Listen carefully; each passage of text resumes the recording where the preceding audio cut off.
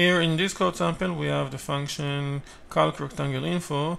The function includes two parameters, w and h. In addition, each one of these two parameters has an external name. Width is the external name of the w parameter, height is the external name of the h parameter.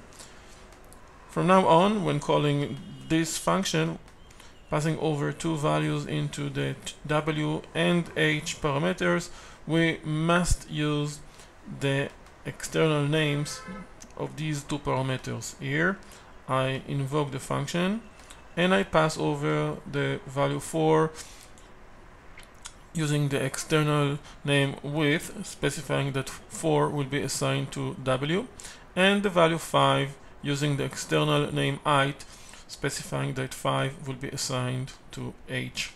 Now if I execute this code sample, this is the output. Pay attention that you cannot avoid using the external names once you have them.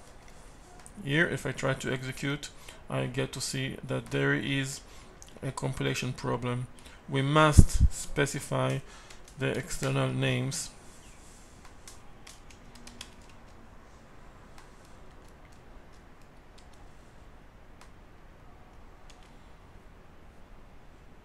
Yes, and this is the output.